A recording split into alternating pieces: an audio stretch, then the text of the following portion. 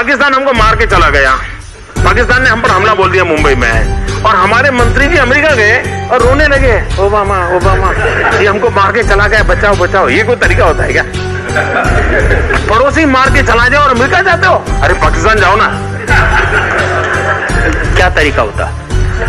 पाकिस्तान जो भाषा में समझे, समझाना चाहिए।